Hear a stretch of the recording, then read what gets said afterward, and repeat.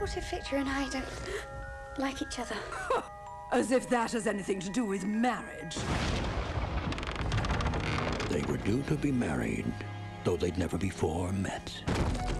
His parents were thrilled. Hers were filled with regret. But in a moment of panic, Oh! Victor desperately fled. And by a grave misunderstanding, married the corpse bride instead. You may kiss the bride.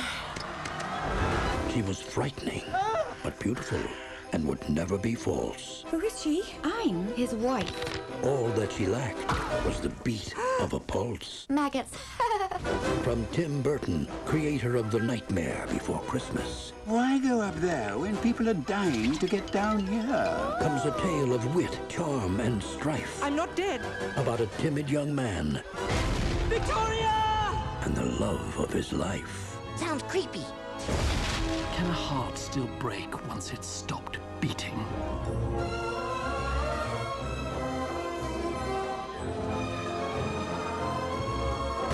A tragic tale of romance, passion, I feel the same.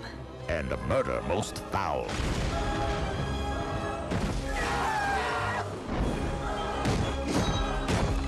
He's married to a corpse.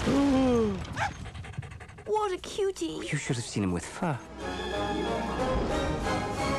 Tim Burton's Corpse Bride. This is gonna be good.